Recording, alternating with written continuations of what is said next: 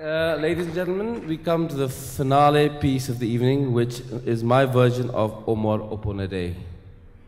So either you leave the hall hating me, and hopefully you will love me. Okay? So we'd like to invite Dipak Sarma again, and Bahab on the keyboards as well. Uh, and Bari, is it possible for me to hear a little bit more strings because I can't hear my I can't hear the strings. So this is Omar Oponade. And Iba again is doing the solo for it.